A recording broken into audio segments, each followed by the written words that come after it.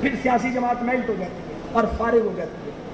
سن لے غور سے، پاکستان کا مستقبل جمہوریت سے وابستہ ہے۔ نوٹ کر لیا جائے کہ یہ ملک ایک طویل سیاسی جمہوری جد و جہد سے بنا ہے۔ یہ ملک گریلا وار کے نتیجے میں نہیں بنا۔ یہ ملک ووٹ کے ذریعے بنا ہے۔ اگر اس ملک کی حفاظت کرنی ہے، پھر ووٹ کی حفاظت کرنی پڑے گی۔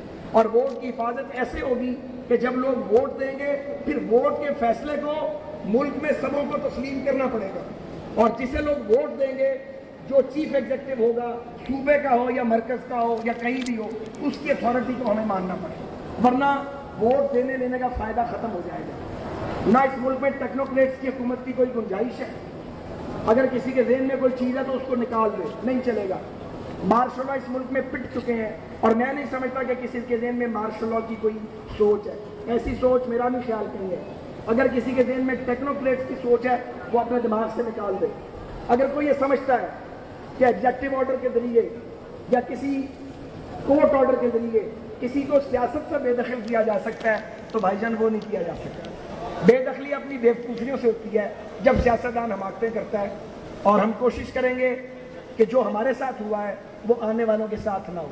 نواز شریف نے یہ جو جد و جہد کا نیا فیز ہے، اس میں اپنے لیے وہ کچھ نہیں مانگ رہے۔ اب یہ جو باقی ٹائم ہے زندگی کا، اس میں پاکستان کی سمت کو سیدھا کرنا۔ یہ ادارے جن کا ٹرن اراؤنڈ ہوا ہے، یہ ریورس گیئر لگ جائے گا۔ اگر ووٹ کی حرمت کو اور عوام کے فیصلے کو تسلیم نہیں کیا گیا۔ یہ ایک بیانیہ ہے، یہ ایک نیریٹو ہے، یہ ایک سوچ ہے۔ اور یہ سوچ پاکستان کے عام آدمی کو سمجھ آ رہی ہے۔ جو بھوکے ننگے لوگ ہیں، ان کو بھی سمجھ آ رہی ہے۔ ان کو ہم نے دیکھا ہے۔ جی ٹی روڈ کے اوپر پنڈی سے لاہور تک۔ دیوانہ وار۔ دیوانہ وار بھاگتے ہوئے جلوس میں کئی کئی کلومیٹر تک۔ جو پیسے لے کے آتے ہیں وہ بھاگتے نہیں ہیں۔ جو پیسے لے کے آتے ہیں وہ پسینے نہیں نکالتے۔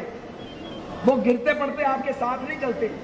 میں نے یہ جذبہ دس اپریل انیس سو چھیاسی میں ایک بار دیکھا تھا جب محترمہ بے نظیر بھٹو آئی تھی۔ میں ان کا سیاسی مخالف تھا۔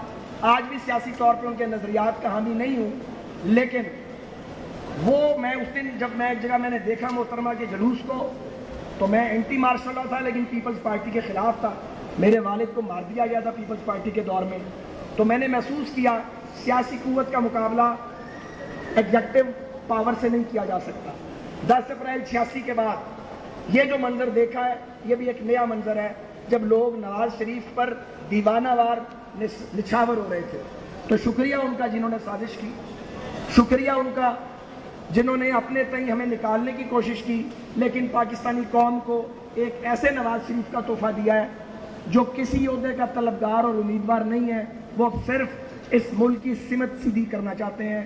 پاکستان پائندہ باد، پاکستان ریلوے زندہ باد اور پاکستان کا یوم آزادی زندہ باد۔ بہت مہربان سوال نہیں آیا۔ بہت زیادہ ہو جائے